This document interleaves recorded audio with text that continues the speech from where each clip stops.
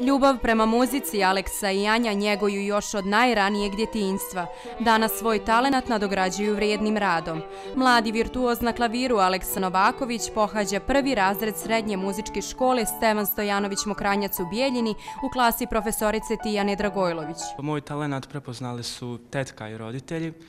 Klavir sam počeo svirati od trećeg razreda osnovne škole, odnosno svoje devete godine. Bili su tu i razne takmičenja i koncerti, a možda najdraže takmičenje mi je bilo, takmičenje mi je bilo od prije dvije godine primavera kada smo svojio prvu nagradu. Profesorica klavira Tijana Dragojlović za ovo dvoje mladih ljudi ima samo riječi hvale. E, ja kao Aleksin profesor klavira mogu da kažem da on evo e, već e, sedam godina u osnovnoj muzičkoj školi također upisao i srednju muzičku školu ove godine, instrumentalni smjer, e, klavir, znači on se već negdje profesionalno opredelio da muzika bude njegov život.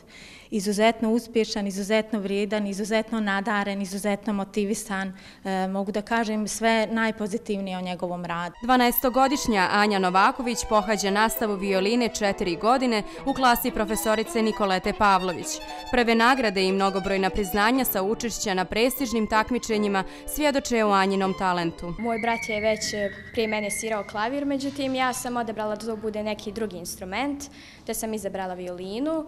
E, nisam sada nešto znala i puno o njoj, ali kada sam dolazila neke koncerte u muzičku e, školu, slušala sam djecu koja sviraju violinu e, i svidjela su mi se kompozicije, te i prvenstveno zvuk violine. Bila sam u Beogradu, Bečeju, ovdje u Bijeljini, E, u Banja Luci, Prijedoru, a mogu reći da mi je najdraže sa Beograda kada sam bila prvi razred u osnovnoj muzičkoj školi i tada sam osvajala prvu nagradu 100 bodova. Anja je izuzetno talentovano i uspješno dijete.